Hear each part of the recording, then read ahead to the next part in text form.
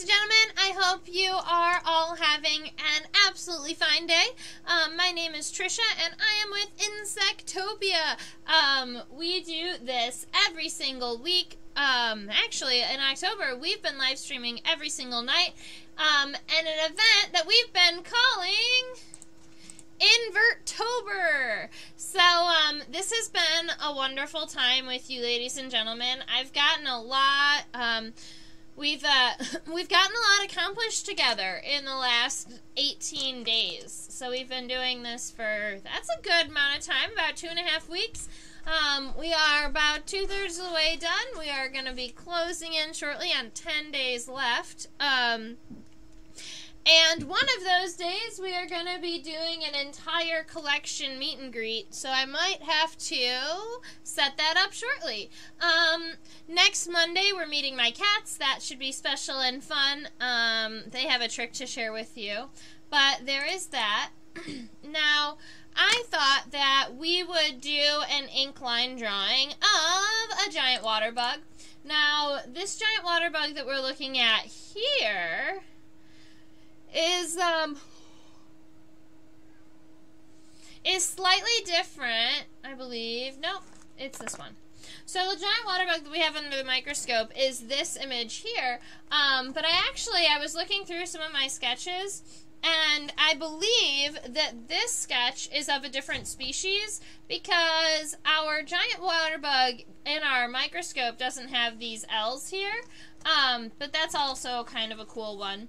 And then I found a third image of a giant water bug, and I only thought I had two giant water bug specimens, but this one is labeled as an abedus. And it definitely has different characteristics than this one that was collected in Michigan, so it's definitely not an abedus. So I thought that that was kind of fun.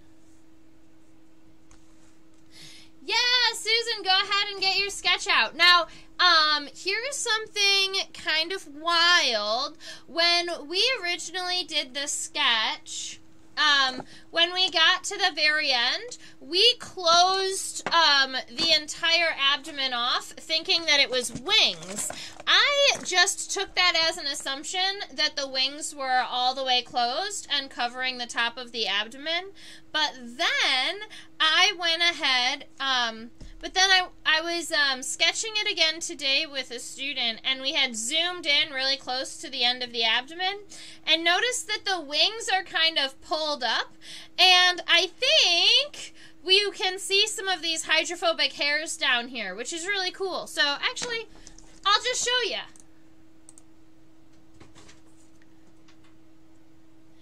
Uh, my cat Sammy is being extra exploratory today, so um, don't be uh, surprised if I uh, yell her name for a minute because she is trying to go all the places she's not supposed to go today. She just knocked down some of my um, some of my dragonfly specimens that were in envelopes, so she's already in a little bit of trouble. Sammy, she's like up in the ceiling. Silly cats.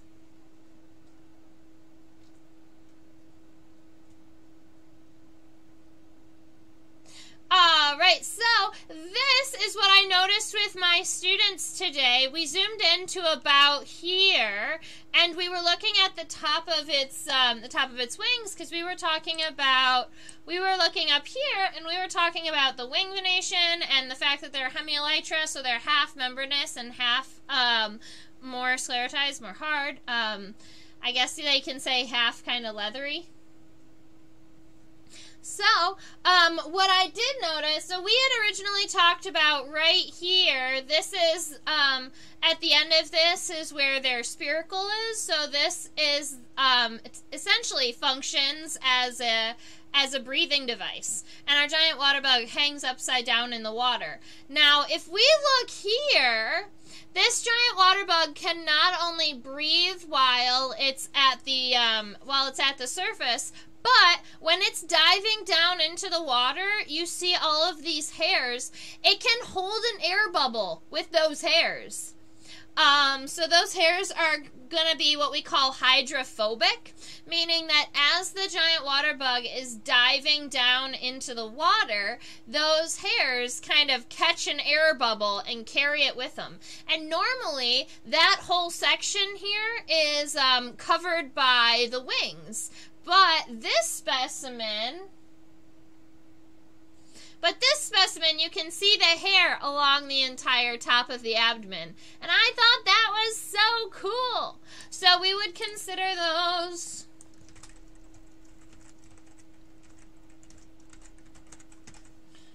Right, because they're insects, they're not technically hairs, they're setae. But we would call those hydrophobic setae because they are water resistant essentially. And I think that actually translates to water fearing. So the uh, family for this giant water bug is Belostomatidae. Oh wait, I've got. I should probably. I should probably zoom all the way out. Ah, the one I have is a Abedus, and it has those two diagonal U's on the pronotum. Yes, that is the one that we sketched together. And I do have that specimen here too. Um, it might be interesting to see differences in this one.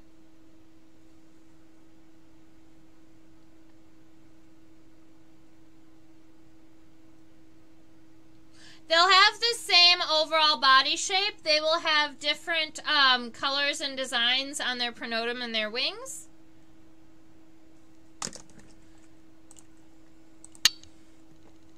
Yeah, I was pretty excited to find all of these sketches. I actually, I also probably want to do an ink outline of the bottom of the head because I think that that one is pretty good. So we'll probably do that too.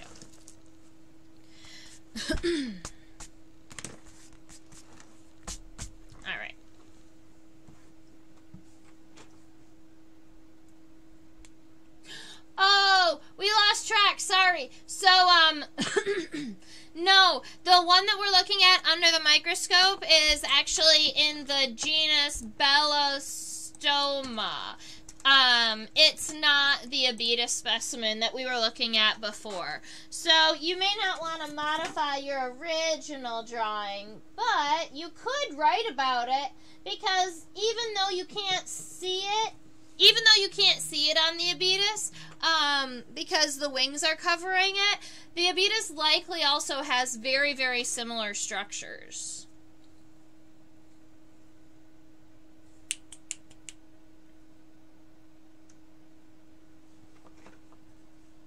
All right. And you know, when I was doing the pronotum on this friend here, it looks like I didn't get some of that coloration in, so maybe I'll just go ahead and do that really quick. Got a light part that comes down like this.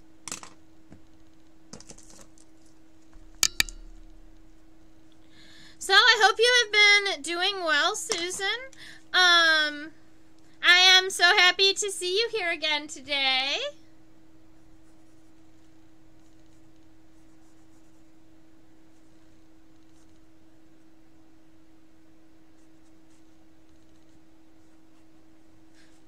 Alright, that's going to be my shape that's a little bit darker. Alright, let's go ahead and do this ink outline. Um, this sketch, I actually, this one that we're doing right now, um, I actually did it today with a student. So it might be the, um, it might be the first sketch that I did the sketch and the ink on the same day. Alright, so we've got a lot of those head features figured out. I am going to go ahead and put the shapes on it for the colorations. Um, now, our pronotum is next. it does still have that really nice angled pronotum. So normally on um so normally on Inkline days, uh we do two or three sketches and we go for the normal kind of hour and a half time from 10 to about 11:30ish. Um, but today today I'm thinking that we just do the one and then maybe like the ventral side of the head, but stick to one to one um spe- to one specimen. Um, I am starting to feel a little bit under the weather, and I really, really hope that I'm not getting sick. But I've been interacting with a lot of people in the public recently, and um, I had a handful of students who said that their families got sick. So I am hoping that we're all good.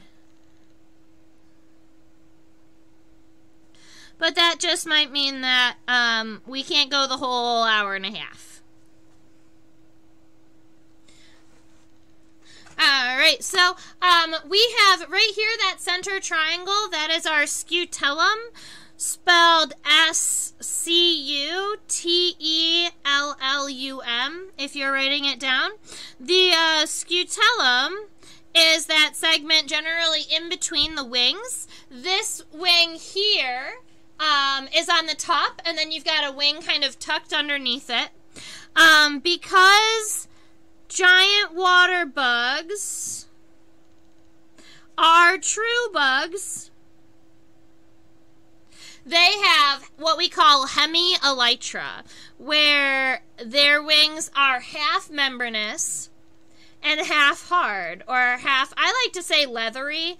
I think the half that's a little bit harder, it's not it's not like a beetle. It's more like it's more like a tegmina. It's more kind of like a um a dragonfly's or not dragonfly, a um grasshopper's front wing. uh, but it, we call them hemielytra, and that is because they are halfsies. And pretty much well, many, many um, of the true bugs have those types of wings. The true bug order is Hemiptera and was literally named for having those hemielytra. But um, there are a number of them that have purely membranous wings. The more common examples of true bugs that have all membranous wings rather than hemielytra are insects like aphids. Those are pretty common um, common knowledge insects that people know about because they affect gardens.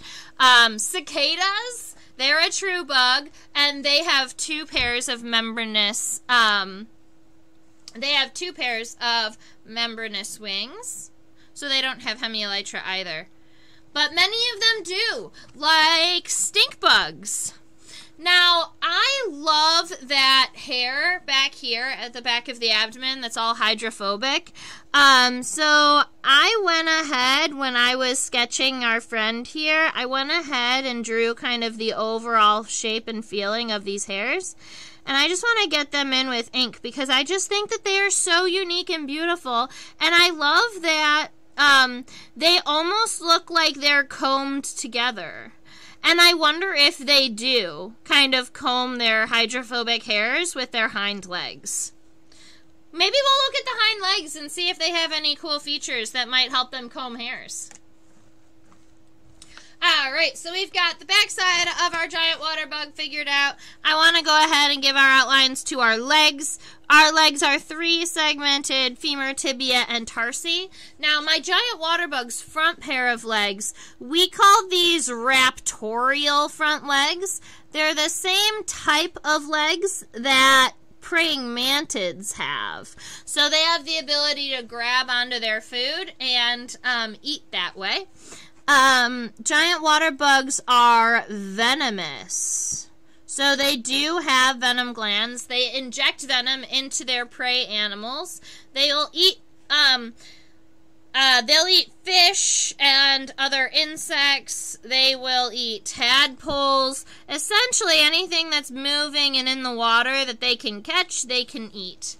Um, because when they pierce with that front, um, with that mouth part, they and inject venom, they paralyze their prey. So whether or not they're alive, that doesn't matter because they're not going to be moving anywhere. So they can just sit and eat them in one place.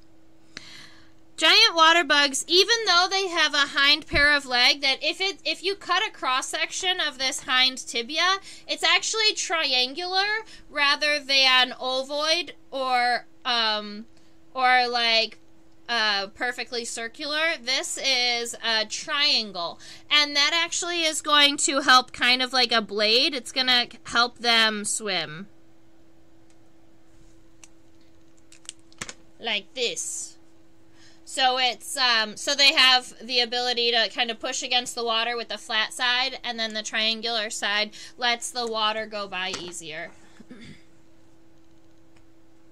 Very good. So, um, I believe I've gotten all of the pencil lines for our giant water bug here, at least for the legs on the left-hand side. So, I'm going to go ahead and erase... Oh, wait! I need to do the cross-hatching in the eyes.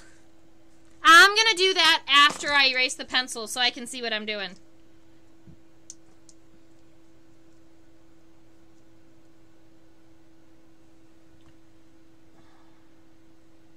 I'm in it for the long haul, though I always worry I'm getting so chatty over here.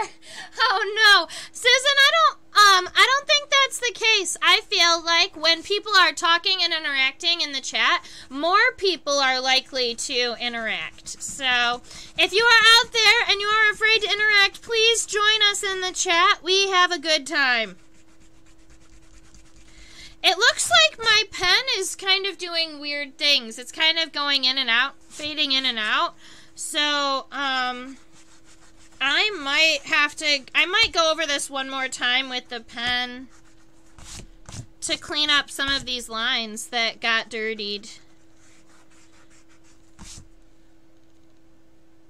Yeah. So some of these lines up in here, they um they didn't come out cleanly. They're kind of um so I'm to I'm to go back in here and see if I can fix some of these. Maybe I went too fast. The pen was like, no, slow down. Or as my mom would say, slow down, you're going too fast.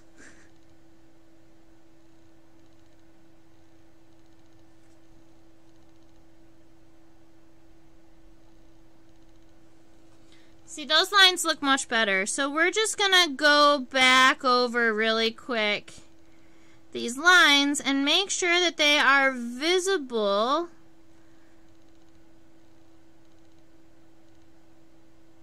and try not to shadow them too much.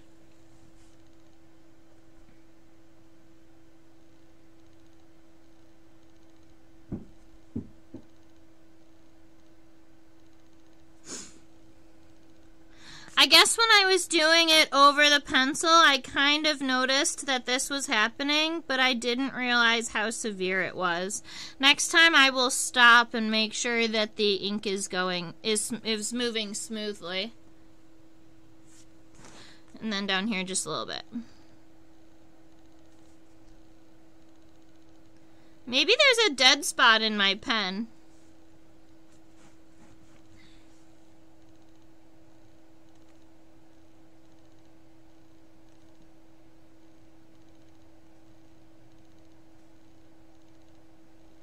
This is fine, though.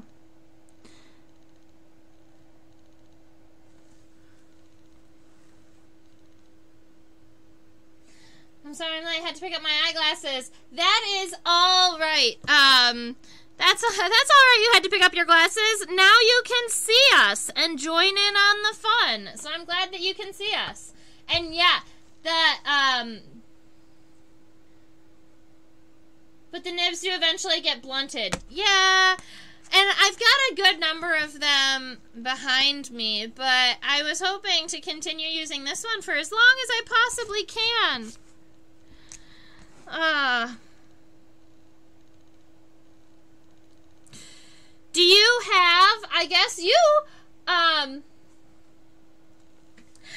I guess you, ladies and gentlemen, would be the people to ask. And I know I probably can go onto the um I probably could go onto the Nature Journaling Club and get all of the uh, everybody's opinions too. But um, do you have pens that you like that you prefer? Because um, I was just about to purchase a, a, a, set of pens, and it is actually already in my Amazon um, cart. I was just waiting a couple days to purchase it.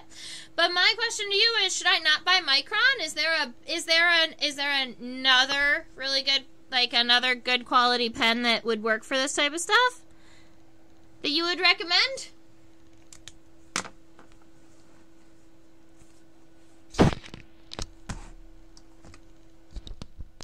There. Somehow it got bumped.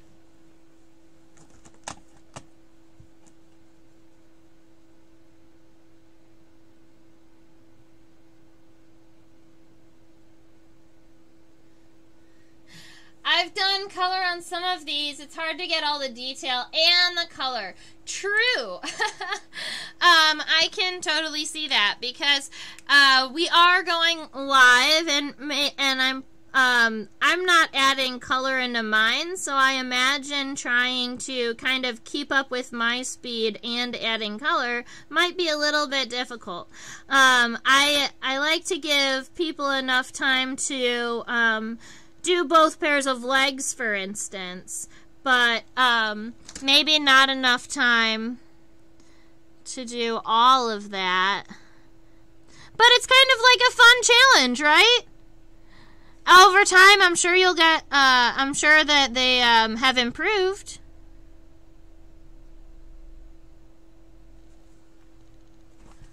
I love when you cross hatch in the compound eyes. I feel like it makes the insect look completely alive.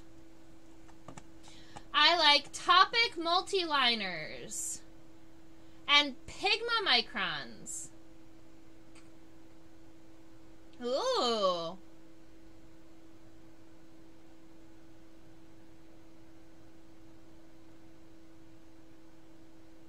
Yes. So I was planning on getting um so I had pulled out a set of Micron um I had pulled out a um a set of Micron pens that were um they had like six or seven different sizes. And so I was kind of I was kind of thinking that that would be my new like my new uh, test on online would be to kind of play around with the thicknesses of pens. Um, I think that it would be very helpful, especially with like ha- insect hairs, um, antenna probably sometimes. Um, some of the cross hatching in the eyes I would love to do with a thinner pen so that you could get more of those segments. So yes, ideally I was gonna get more, get get several sizes. But Copic multiliners and Copic microliners.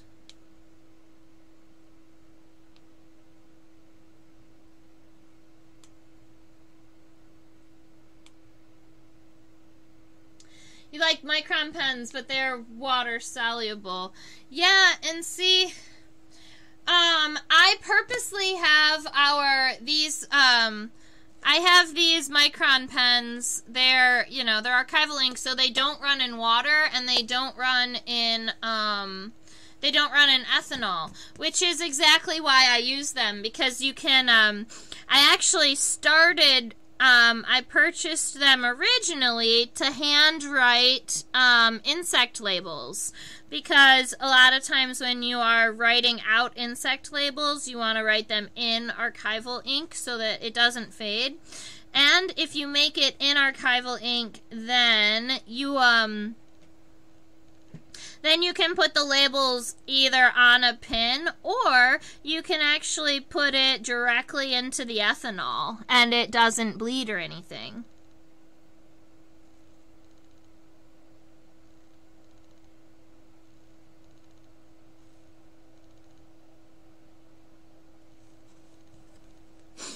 All right, so I'm just getting our um, our head here, the bottom of our head outlined. Um, I was thinking that this would be a really cool time to talk about the venoms. So what I can do is turn our friend upside down so we can see its mouth parts. And I can just turn the labels because the head extends over the edges and we don't even have to take off the labels. That's my favorite. So the striping on the legs, I just went off my camera screen. Too close. We're going to fix that. There we go. Um, so the striping on the legs, on the tibia here, and the spotting on the uh, the femur and the tibia on the middle legs, I feel like is a character that gets you down into at least. I think it gets you down once you know it's a belostoma. I think that you can, it helps you identify it to species actually. But I'm no good. Um, I'm no good past uh, genus in giant water bugs just yet. I would have to look it up and do a little bit of research before I was to tell you um, exactly what species we were looking at here. Hi, Marley. we were looking at the bottom of the, we were looking at the ventral side of the head of a giant water bug. And we were talking a little bit about its venom. So when we're looking right about here, let's grab Terry. Hi, Terry. Um, this tube right here that goes all the way up and then seems to kind of go into the head in the front, that's actually kind of the feeding tube. That's the tube that my giant water bug is actually drinking out of. Um, I believe that these two squares to the side, those are essentially pumps that help them drink their food. I believe that's what they are. Now, um, this part here is, we like to call it the stabby part. Um, giant water bugs have that piercing and sucking mouth part where they pierce with this end, and you can see it's more like a sheath. Like it's a protective guard around the straw. So it helps pierce into their prey. They inject venom, and then they drink it through the straw like a bug slurpee. Or a frog slurpee, depending on what they grabbed onto.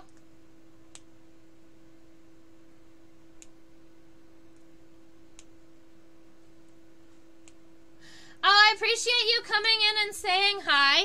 Um, I was uh, telling the ladies just a minute ago that it's possible that we were actually going to be ending after the one insect today. Um, just maybe we might be closing it in around at around 30 minutes rather than the normal hour and a half just because I'm feeling a little bit under the weather and I want to make sure I get some extra sleep tonight if I have to fight off a bug that is approaching. We've got a lot of sick um, students here, like a bunch of students who are un uh, under the weather, and I did teach a number of them.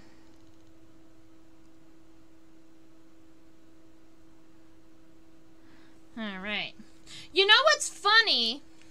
I was looking at this giant water bug, and I spent a good amount of time trying to find this giant water bug's antenna.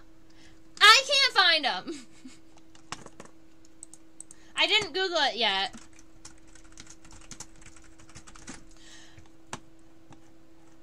Let's see. Supposedly, they have a pair of four segmented antennae that are concealed under the gro in grooves beneath the head. So it would be on the bottom side of the head.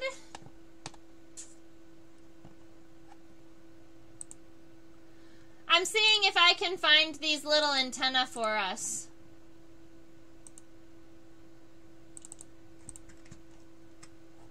Okay. So I think I know what it's supposed to look like. Let's go see if we can find it.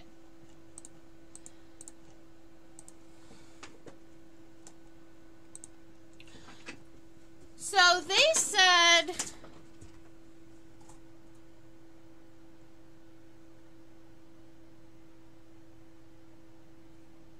in the grooves under the head, under the eyes.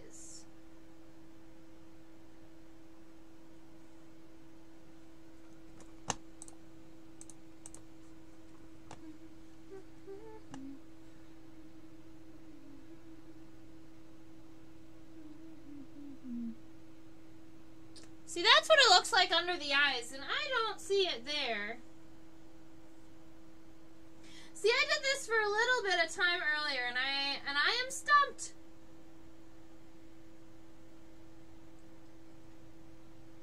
When they say concealed, they really mean concealed.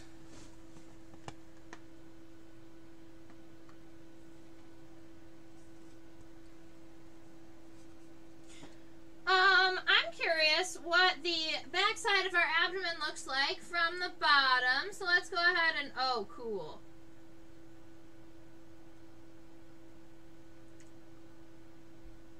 All right, so check this out. The um the abdominal sclerites here on the edges, they seem to be kind of see-through. So right about here where you're looking at this line where you're looking at that line here, that's actually the line that's created by the hair on the other side of the abdomen. Um, this is where the water, um, this is where the air would go in so that our beautiful Beophilobelastoma, our giant water bug, could take a deep breath. And this is what I figured it out.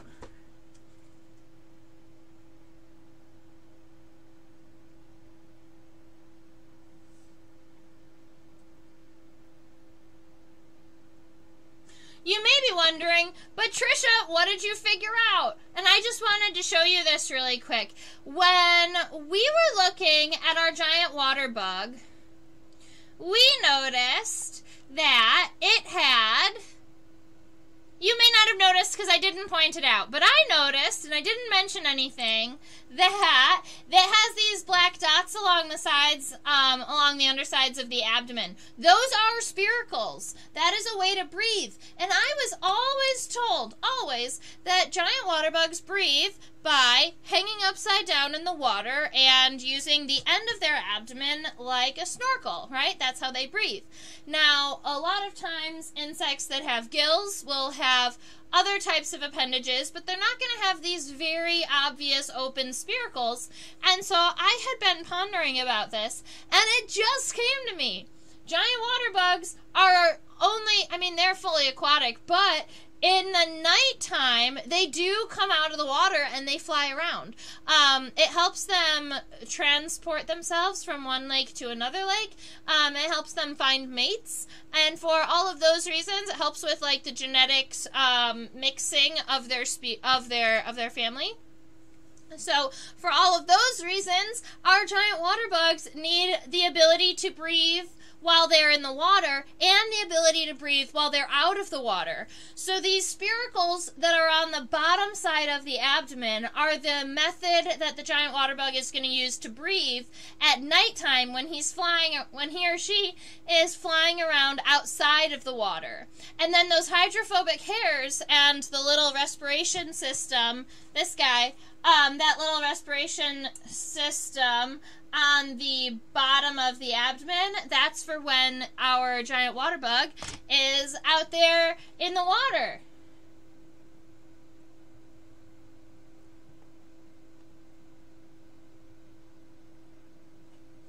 Um,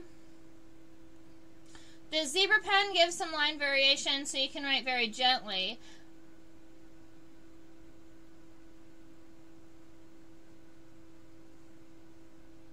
Okay. Futu Yaku. I need to be writing all of these pen suggestions down. I really appreciate it because I'm going to be purchasing pens soon. And I wanted to, you know, purchase something a little. I wanted to purchase something nice.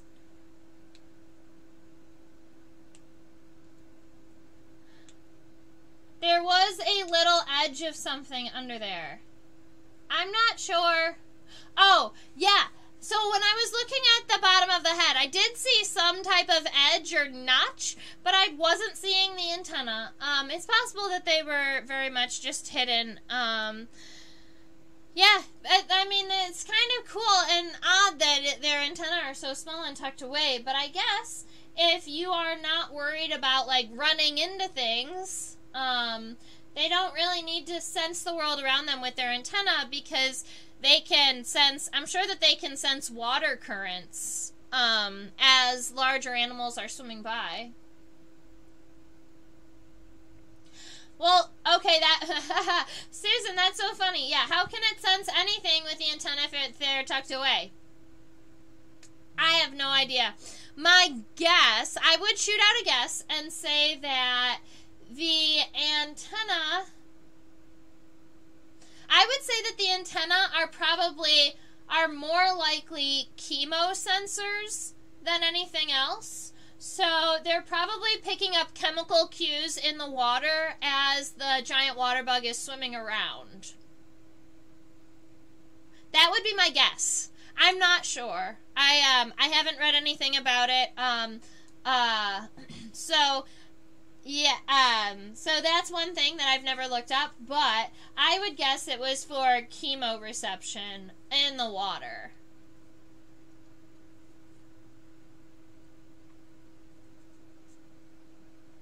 So, um, Susan, that's a great question, and I would like to answer it for you. So you said it breathes through those spiracles with a butt bubble? Not exactly.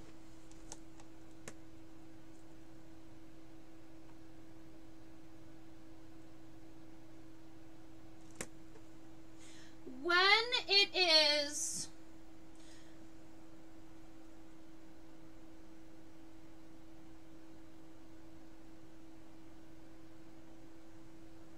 get this refocused. All right, so when my giant water bug is breathing underwater, it's going to have those spiracles that are on the bottom side of its abdomen closed. I don't think it has the ability to um, dissolve to pull dissolved oxygen out of the water, um, and that's why giant water bugs don't need highly oxygenated water because when they're swimming, they use their butt snorkel. All right. So this appendage right here, they'll kind of stick it up over the over the top of the edge of the water, and then they have the ability to pull oxygen down. Um, now that's how they breathe underwater. They've got a spiracle that's right about here at the base of that. Now, um, they also do have these hydrophobic hairs, so when they do dive under the water for um, for larger times, they will hold an air bubble, but it's not going to be an air bubble on the bottom side of their abdomen. It's an air bubble in between their abdomen and the wings above the abdomen. All right, so it's actually an air bubble like the air bubble is the cream to the Oreo cookie. There's the wings, the air bubble, and then the abdomen. And that's how they're going to breathe when they're swimming. And that's why I was wondering why in the world they even have spiracles on the bottom because they're not going to use them when they're underwater. But they don't use them while they're underwater. They use the other spiracles that we saw on the underside of the abdomen only when they're flying around. When they come out of the water and they are out in open oxygen I, or open air, I believe that those are the spiracles that they would use. So that answers those questions, I hope and believe. Um, yeah, so I was excited because I just saw and I was playing with this giant water bug today and I noticed that the wing was tucked and we hadn't seen that before. So I really wanted to share it.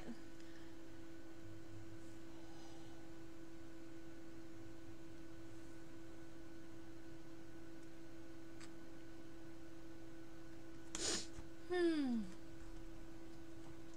All right, so I don't think I haven't heard any more questions. Um, I like to give everybody just an extra minute to see if they're gonna come up with a question while you're sketching or doing any of the other things. So, um, other than that, I do want to kind of head off for the night. 40 minutes is um pretty good. It's not as long as all of our other classes have been. Um, but I'm you know, maybe about to lose my voice, and I'm supposed to be back on the news on Friday, so I'm not gonna get sick. Alright? I'm just gonna will myself into not getting sick. It's gonna be great.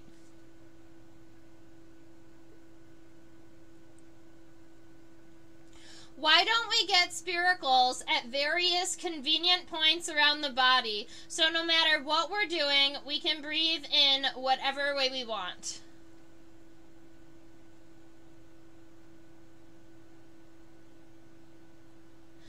I think So, that is very much an insect physiology question about how the internal organs and how the respiration system works in insects. It's something I've always um, been interested in, but I haven't done a lot of reading on it. So, I'll share with you what I know as kind of with a with an asterisk that is um, there's probably a lot more to it. So, uh, you don't generally get any spiracles ever in the head region. Um, just because the head is so busy doing all of the other things, and a lot of times it's very heavily sclerotized. It also protects the main um, nervous system um, ganglia, which people believe is kind of what is similar to like a brain ish. So you don't get any spiracles up in the head. There are insects that have spiracles on the thorax and on the abdomen. Um, they are always along the sides of the insect. They're never on the top or on the bottom. Um, not that I can think of readily. Um, this giant water bug is a little bit of a flatter shape, so the um, spiracles are more on the bottom. But if we were to actually look at those plates, they are on the what we would consider the lateral plates, even though it's kind of kind of the bottom. Um, I'll go ahead and show that to you so you can understand what I'm saying. Um, so why don't we get spiracles everywhere? Those spiracles. All right, so we're going to go with this one first. Um, here we are. So this is the bottom side of our giant water bug. And right about here, these are what we would consider the abdominal tergites. No, sternites. Yes. Um, these are what we would consider the abdominal sternites, spelled S T E R N I T E S, just meaning they're the ones on the bottom. And then if you see there's this line here, and then past that line, that's where our spiracles are, those dots there. Um, and so those are what we would consider the lateral segments, or the segments on the side. Then you're going to have one long segment on the top that goes from this side all the way to the other side. So it's more like a flat disc, but those are where the lateral sides came from. Um, yeah, so we don't have spiracles on the top or the bottoms of the insects generally, and what I would assume is that it's due to the way that air diffuses into the body. Um, insect blood does not carry oxygen like our blood carries oxygen around our bodies. Um, the insect respiration system is those those um, spiracles they open up and they open up into empty tubes and the air comes into their body and then those tubes get smaller and smaller and smaller and branch out and branch out and branch out so far that they um, that they feed oxygen to every cell in the body. Um, which blows my mind a little bit because I don't really understand how it works. Um, but that is what I've been told. Humans should get to have all the cool bug body parts. Right? I agree. I want a tail that I can use as a as a snorkel. so I can swim longer.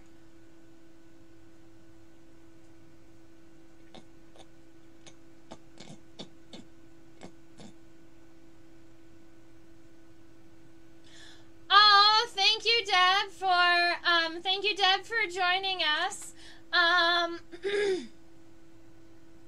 Yeah, we're closing in on the last 10 days of October, right? So, Deb over here is talking about Invertober.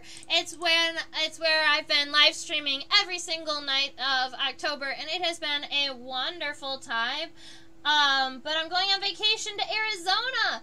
Oh, that's exciting. Okay. Um, I love that you get to go on vacation to Arizona. Arizona is definitely one of my favorite states. Um, I love the bug collecting out there too. Um, October is a little bit late to be collecting bugs, but it's still a beautiful state. Um, so I hope you have a wonderful time. Ah, perfect. All right. Have a wonderful rest of your night, ladies and gentlemen. I hope to see you soon. Um, Deborah, if it's not until November, I'll see you in November on a normal Thursday or Sunday when we go back to live streaming twice a week. Um, that'll be fun. And I should be able to have enough time to be posting whiteboard videos once I'm not live streaming every night. So we'll see about that. Um, join us for Invertober next Monday. We are um, next Monday. We're we're meeting my cats. Um, the Monday afterwards, we're finishing up looking at the rest of. Actually,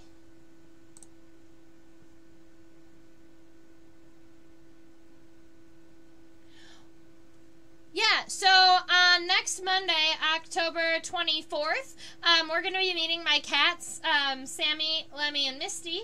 Um, and I believe we'll do October 31st is when I've been saying that we were going to do like beetle meet and greets, and we totally can, but I'm thinking that we can meet the beetles and um, we will go through my, we'll do my insect collection overview that day. Because that can be like a grand finale of October. Like, hey, let's go and look at all of the cool bugs in my collection. That would be fun. Alright, so, Yahoo! Um, let's see, we've got Invertober stuff, live stream closer. Um, Thank you for hanging out with me today. I also teach on a platform called OutSchool. I teach to students ages 5 to 8, 9 to 12. We have a wonderful time. I am just now finishing up and hoping to get approved um, to teach a class on insect collections. Um, so that's going to be a lot of fun, and the students who have insect collections as part of their curriculum can join me, and we can build collections together. Um, over there is my um, Insectopia logo, and that is just to help remind you that you should subscribe to my channel. Um, and if you hit the little notification bell, the your phone will let you know when I'm live. Ha ha! That's kind of cool. All right, so right about there is a QR code. If you want to use it, you can. Um, it goes directly to my PayPal, and it helps me purchase materials and equipment that I need to continue to do this for you. Like you know, new insect pins and new um, and and pens and notebooks. You know how many notebooks I'm going through recently? Um, doing all of these sketches. It's kind of wild. Um, so uh, that has been. that has been a great time. Um, so I hope you all have a wonderful rest of your week. Maybe I will see you. Maybe I will see you shortly. And happy Invertober. Stay buggy.